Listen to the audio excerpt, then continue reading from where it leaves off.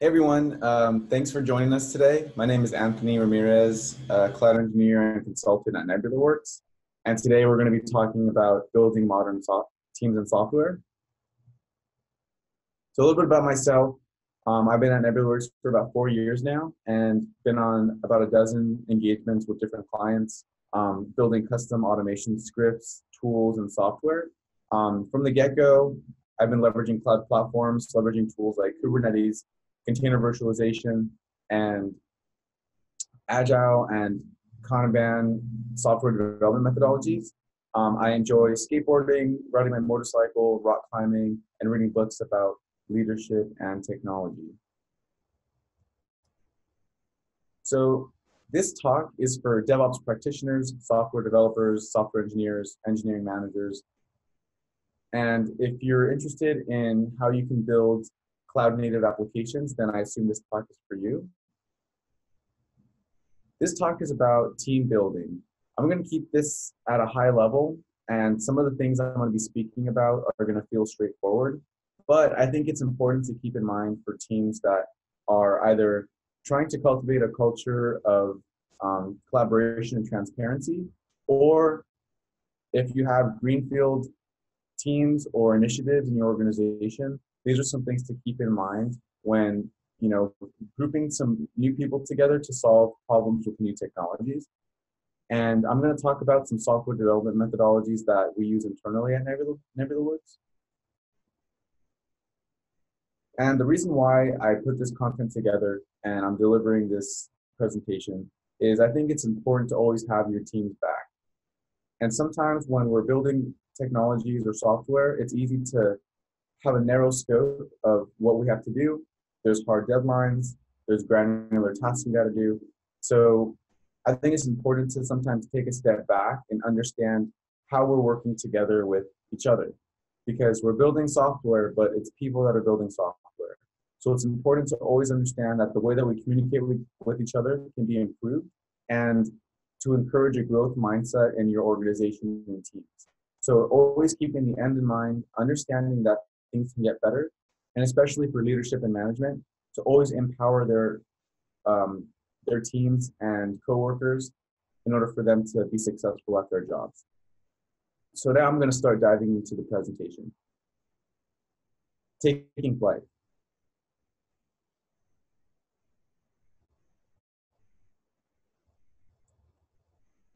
Engineering the future.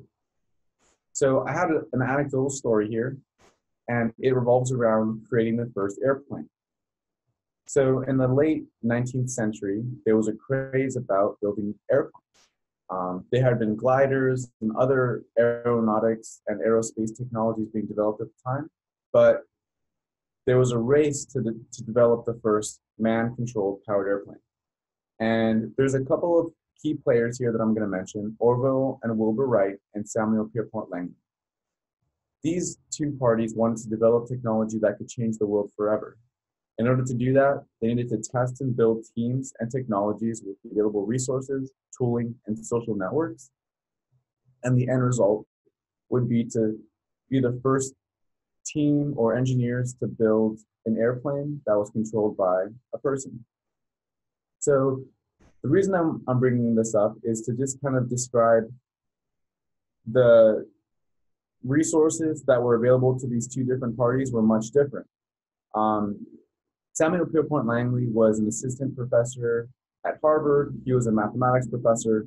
He was connected with some of the most um, established government officials of the time. He had access to major amounts of funding, and he still could not achieve this goal of building an airplane.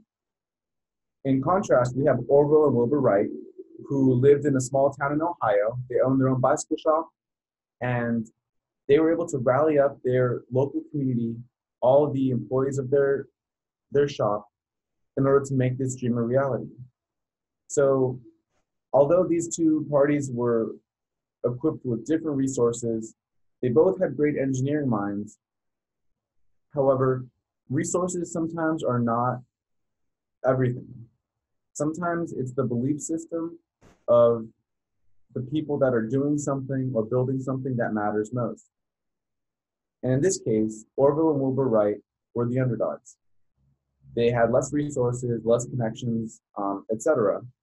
And the reason I'm bringing this story up is that sometimes when you're trying to initiate change in your organization, or you're trying to make, um, you know, adopt a new process or influence people around you, you may feel like the underdog. People might be resistant to resistant to change. So even though you're the underdog, it's important to know that sometimes it's the belief system and how you inspire and lead others that makes the difference, that will push you over the edge. So segueing into the content that I'm going to talk about, if you're trying to make change, or you're trying to kind of taking tips and tricks from this presentation to your own organization, just understand that it takes it takes inspiring the people around you in order to, to make change um, and endure, make enduring change really. And here's a, a picture of the Wright brothers taking flight in North Carolina in 1903, and the rest is history. So here, here we are with uh, the start of the four principles. And the overarching vibe that I want to set here is that everyone is responsible. Um, in a team, whether it's a, a, sports team, if you've worked with software development teams, and engineering teams, um, you're building teams in other lines of business, sales, marketing. One key thing to keep in mind is that everyone's responsible and everyone's accountable every player on a team has a well-defined role and responsibilities. And in order for the team to be successful, everybody has to be doing their job at the best possible way that they can. So now I'm going to jump into the first principle here. And just to provide some context, some of these things that I'm talking about are gleaned from about a dozen projects that I've been on, and I kind of recognize these things as as kind of patterns that came up and things that we need to keep at the front of our minds when working with other people. So one of the main things that I saw was being able to maintain lines of communication. Communication is key and personal relationships, interpersonal, you know, communication skills are essential when you're when you're solving a hard problem.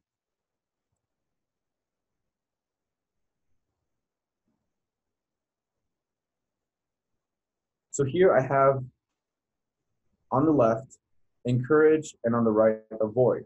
So this is going to be a common pattern or uh, the, the framework for the rest of the slides. So on the left is a list of things that we want to encourage, and on the right is a list of things we want to avoid. Um, so we want to be able to leverage consistent tools. So uh, through all the projects I've been on, we've been working with various clients, and all organizations work differently. Internally, we leverage Slack, Zoom, and be able to pick up the phone and text each other. So one thing is that's important for our team is to leverage consistent tools for communication. So everybody knows exactly how to get a hold of each other. And when we have a new engagement, we add all the clients that are going to be working closely with the engineering team to a specific Slack workspace channel that we use to drop in either questions, uh, recordings that we have for demos, we add all appropriate individuals or key stakeholders from different lines of businesses to this channel in order for them to have insight into what's going on. So this encourages collaboration between the different lines of businesses.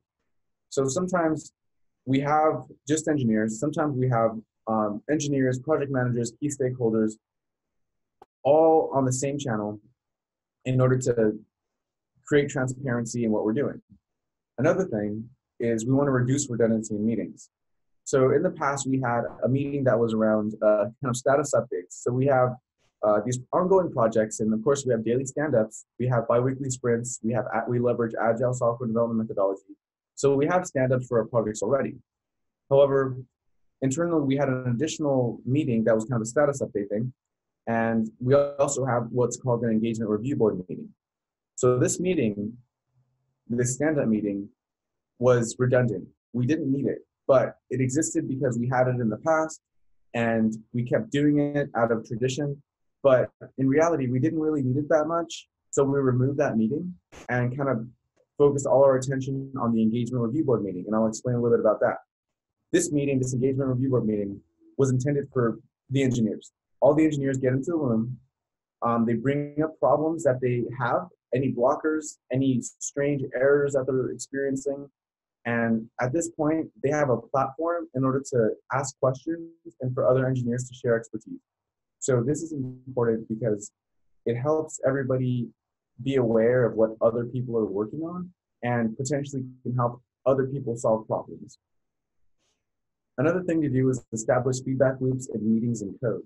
So after any demo or um, project completion, we have post-mortem meetings. So we're able to huddle up and say, these are things that went well, these are things that didn't go so well for that project, for that demo, and provides us to have quick feedback on what we can do better as a team.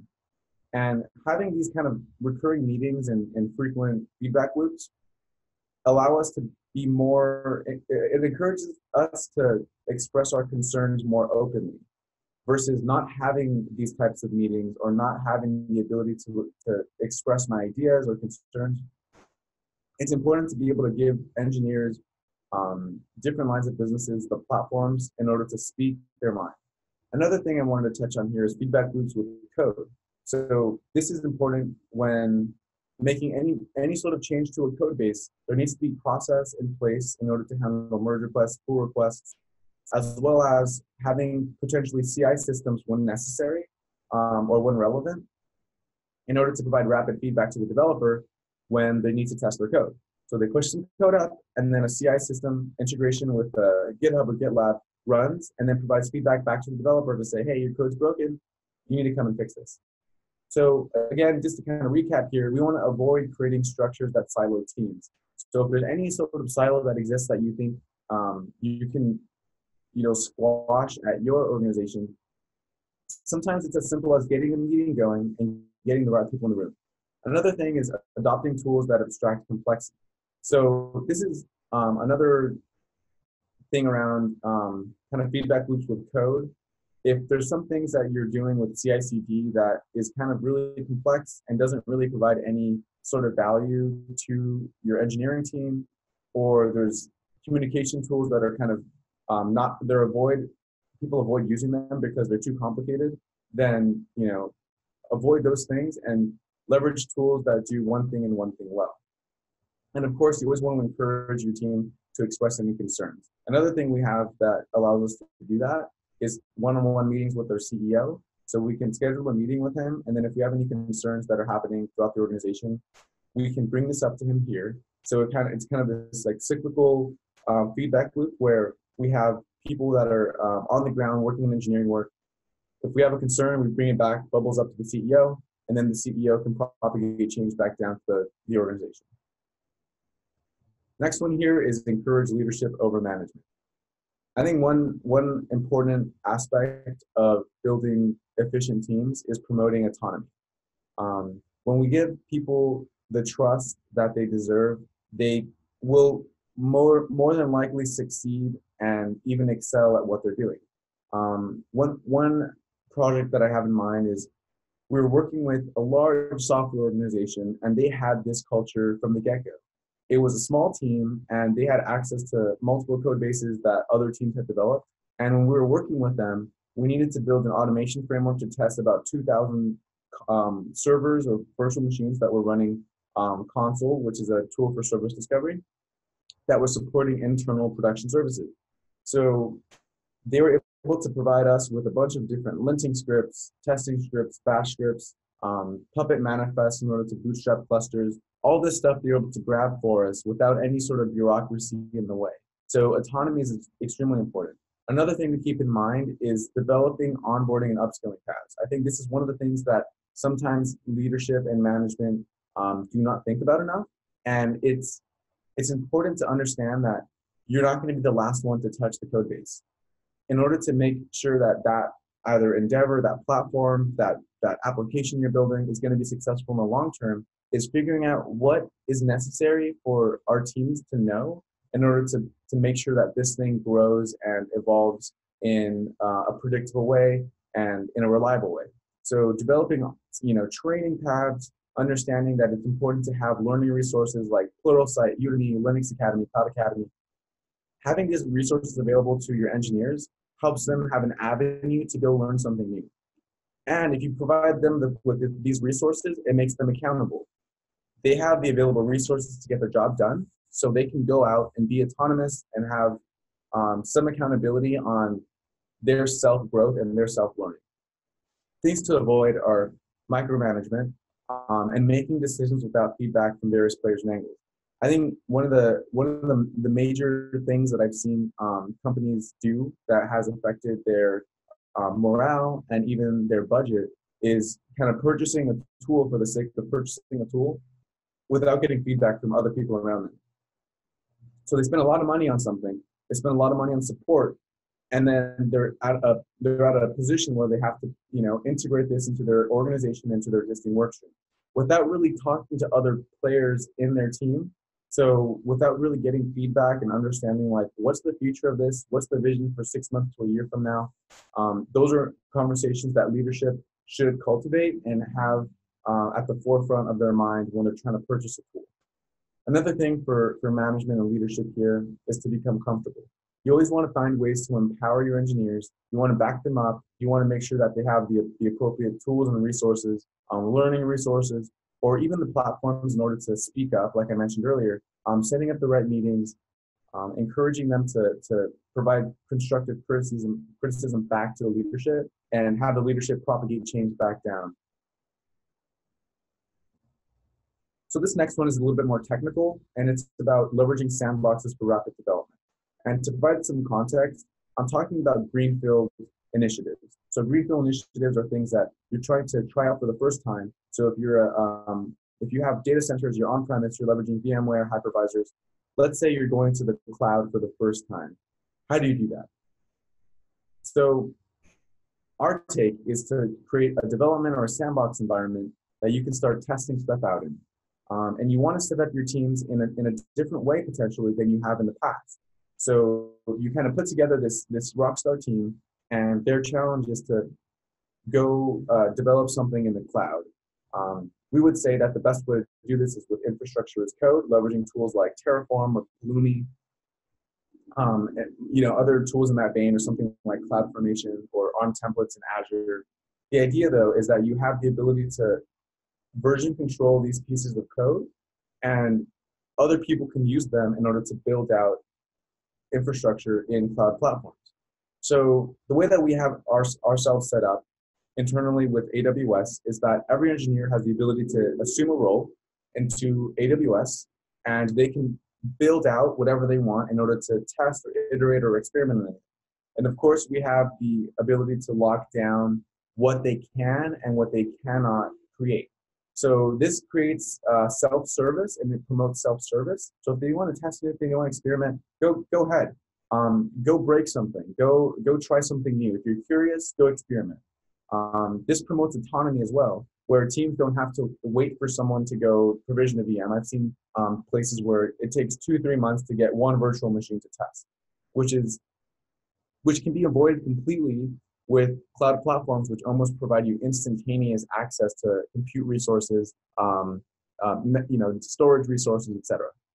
So we want to avoid creating bureaucracy in structures for resources. And of course, I'm keeping this at a pretty high level here. But the idea is that if you can find methods in order to empower or enable your engineers to have access to resources without having to go through a chain of command, um, try to find ways that you can do that.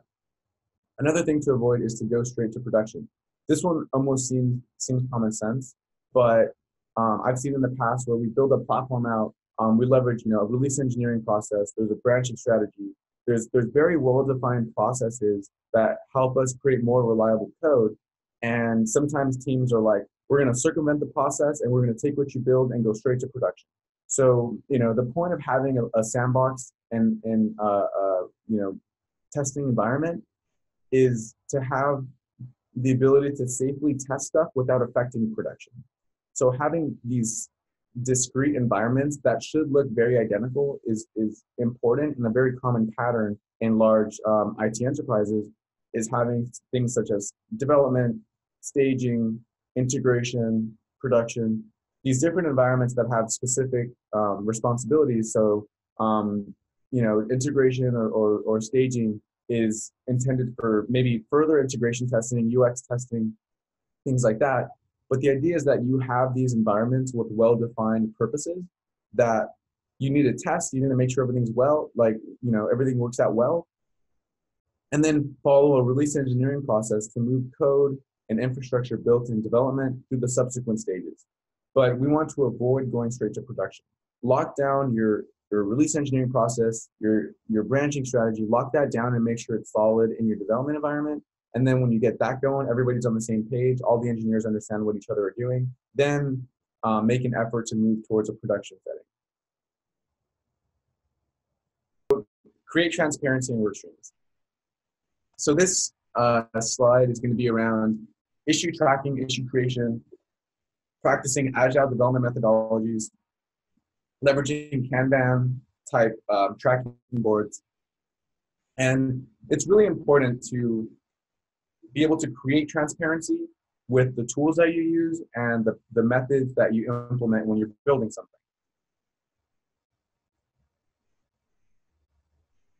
So when you're building a young team, um, you're building a team for the first time, or you're starting a new project, um, leveraging new technologies or, or trying something new.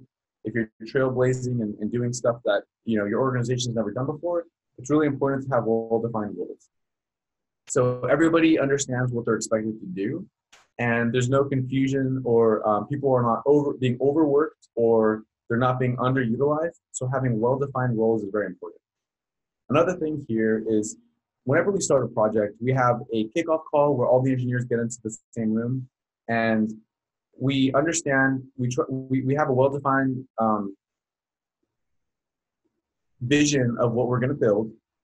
We then take the big picture and then create these kind of high, high level buckets of, I guess you could call them phases or categories of what we'll be doing. So it's like provisioning infrastructure, there might be research, integration deployment, um, validation testing, documentation. Um, so there's these high level phases that exist in the project. And what we do is we create these buckets. Sometimes they're different. A lot of times you can reuse the same uh, model. We then create issues that are relevant for those phases in a very granular way. So the, the reason we do this is we want to be able to work independently on tasks and not be stepping on each other's toes. So creating independent granular tasks allows engineers to pull tasks from the work queue and work in parallel. So another thing I want to talk about is leveraging data and information pools that are that all parties can access. So internally, we leverage GitLab for documentation, um, for delivery process, for branching strategy, release engineering strategy. Marketing has a repo that outlines how we develop content for content marketing. So like our blogs, the videos that we make and share with the community, all this stuff is documented and it can always be improved. So engineers or, or market the marketing department can make pull requests to that repo and update and enhance the quality of um, that document process documentation. And another cool thing about leveraging a source code management tool for this is that you can you can granularly tweak who has access to make code uh, merge requests and stuff like that. Additionally, it allows people to voice their opinion. And if something needs to be improved, then that, that can happen. And everybody else on the team can see these like kind of real-time updates to what's happening to the company's uh, process and have a very clear understanding of what's changing, what's being improved. Um, and it also helps people participate in code reviews to make suggestions and so forth. So some stuff you want to avoid is limited communication. So um, maybe not having recurring meetings, not holding people accountable if they miss meetings. Um, don't board code. I kind of seen this in the past where people kind of build up these really, really big feature branches. And this is not the best way um, to do it. We encourage frequent commits, um, committing very, you know, pushing up code frequently because one, you might lose your code if you accidentally RM something in your terminal, um, or you might be working on something for two weeks and find that when you go make the merge request or pull request, that it's not actually what the team was looking for. So, you know, there's a lot of cycles burned there. So if you can commit code frequently, people understand what you're working on and they can give you suggestions and guidance more quickly. Another thing is, is to be afraid to speak up. So if there is people hoarding code, if there is like uh, uh, you know code that's being developed that's on a different tangent, it's important to say, hey, you know, this, and, and this is why it's important to have a merge pull request process, giving engineers the ability to go make suggestions. So if you're ever a contributor to open source software, there's well-defined pull request requirements in order to make any changes. Um, another thing is to not do work that is untracked. Um, if at any point a new issue comes up or you need to create another piece of functionality, which is kind of maybe tangential to an existing issue, it's important to create an issue and put it in the backlog or reprioritize accordingly, but avoid working on stuff that's not tracked in the issue. The reason is, um, is without people knowing what you're working on, that can be, uh, it can, you know, be contentious potentially. Um, but, but having a, a, a Kanban type board allows you to show what's in progress, what's been closed, what's in review, and what's coming up. So, you know, it's, it's just important to have the ability to, to understand that, that it's important that people create other issues in order so other teammates can know this functionality is on the way, or if right now I can't work on it, but I know it needs to be done, maybe another engineer could pick it up. So again, on a high level, these are the four pieces of um, team building that I think are extremely important. So maintaining lines of communication, encouraging leadership over management, leveraging sandboxes for rapid development, and creating transparency in the work. So now I'm going to transition into um, speaking about some of the tooling and methods that we use internally at NebulaWorks. So we're partners with the Cloud Native Computing Foundation, training partners, and um, we are very, um, we, we're open source advocate and kind of kind of proud of the, our partnership with the CNCF. Um, the ability to use open source tools to solve problems, I think, is, is, is should be promoted within organizations more often versus purchasing something or, or feeling that they need to buy a tool. Um, there's a lot of great tools, and the, the whole initiative of cloud native computing is um, is overall a great idea for the community. It increases collaboration, um, and things like Kubernetes came out of it, which is our, our container orchestration platform of choice. So we use Kubernetes to deploy multi-tier um, applications. Um, so Kubernetes, we've been using Kubernetes for a while now. Um, we used to hand roll everything out, but now with the advent of managed services and cloud platforms, it makes it really easy for teams to get bootstrapped and leveraging Kubernetes. Um, we're AWS partners, so obviously cloud has a lot of value. We leverage Azure, we leverage we leverage Google Google Cloud. Um, Amazon's the only one here in this picture, but the idea is that we have the ability to iterate quickly and provision infrastructure quickly. And the way that we manage stuff is with a tool called Terraform. So this is a tool from the HashiCorp suite, um, and it allows you to basically declaratively define resources and infrastructure that you want to be provisioned in Amazon.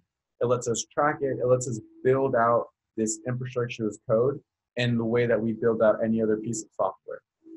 Additionally, there's some tools that we use like Vault um, for secret management, secret engine, um, encryption at rest, um, as well as Consul for service discovery and its key value store functionalities. You have the ability to create semaphores, there's like locking features, and uh, Packer is another tool, maybe not not so uh, popular or spoken about all the time, but it allows you to basically create these machine images that you can provision virtual machines from and you can you know build them locally or in the cloud or VMware and so forth.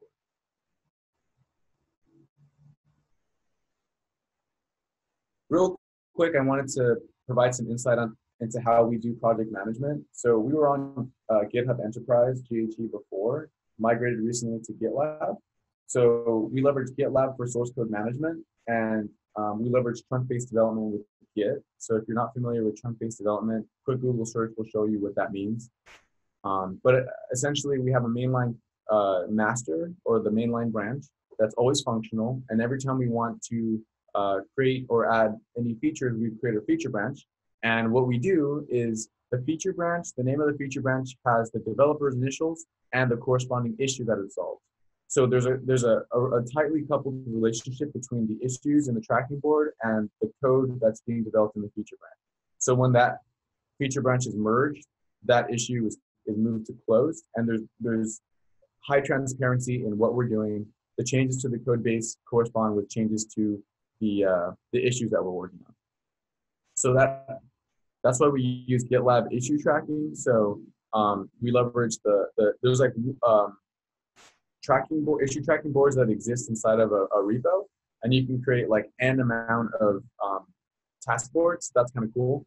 And uh, if you're interested in more about agile and kind of like some other principles that we practice internally, check out um, lean production methods. So if you're interested in um, just to be inspired with some methods of like how you can organize work streams, um, organize work, uh, that's something that has inspired us to uh, to change the way that we build things.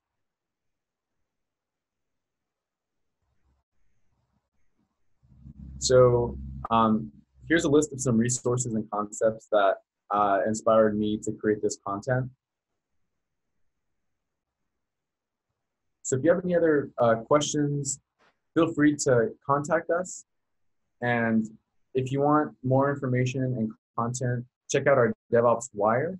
Um, and also, thanks so much for watching. So if you like this content, be sure to like and subscribe um, on our YouTube channel. But without without anything else, um, thanks so much for listening. Thank you.